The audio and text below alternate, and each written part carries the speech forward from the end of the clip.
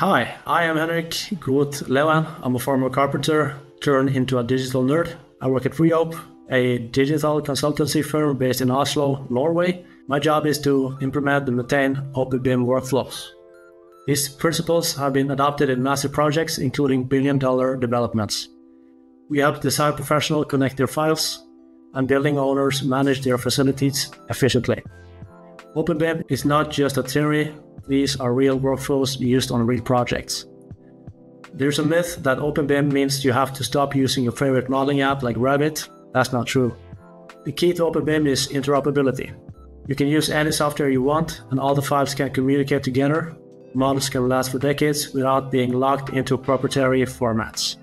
This is Practical OpenBIM, a mini course where I show you all the steps to use the power of OpenBIM on real projects.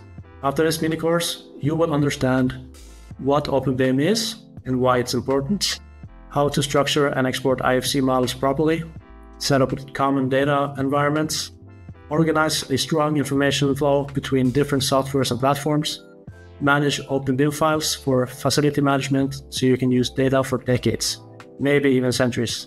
This short course covers both the theory of OpenBIM and hands-on practice.